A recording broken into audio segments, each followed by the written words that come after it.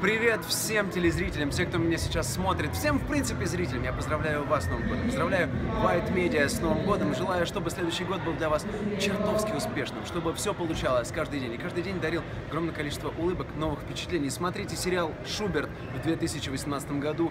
Это будет огонь, друзья мои. И, конечно же, здоровья вам и любви, любви огромной. С Новым годом!